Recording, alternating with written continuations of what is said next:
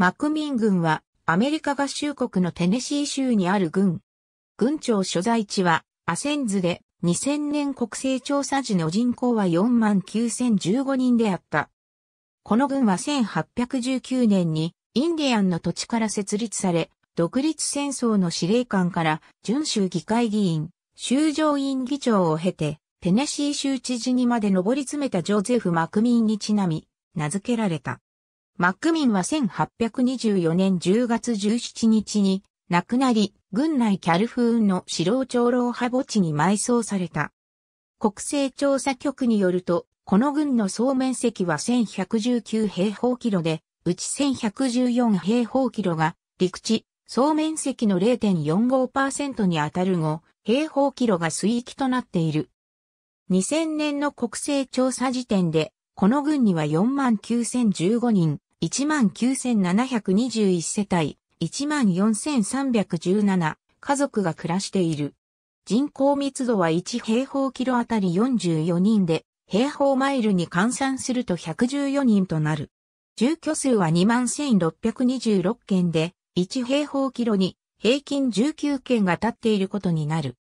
住民のうち白人は92.72%、アフリカ系は4.48%、ネイティブアメリカンは0.27%、アジア系は0.70%、太平洋諸島系は0.02%、その他の人種は0.75%を、根血は1.06%を、ヒスパニックは1.80%を占める。2000年国勢調査の結果をもとに作成した軍の人口ピラミッド19,721世帯のうち31.4%は18歳未満の子供と暮らしており、58.7%は夫婦で生活している。10.6%は未婚の女性が世帯主であり、27.4%は家族以外の住人と同居している。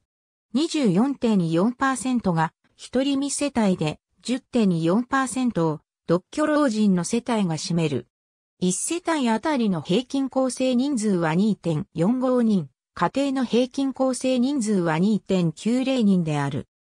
住民のうち23.9%が18歳未満の未成年、8.24%が18歳以上24歳以下、28.5%が25歳以上44歳以下、24.8%が45歳以上64歳以下、14.3%が65歳以上となっており、平均年齢は38歳である。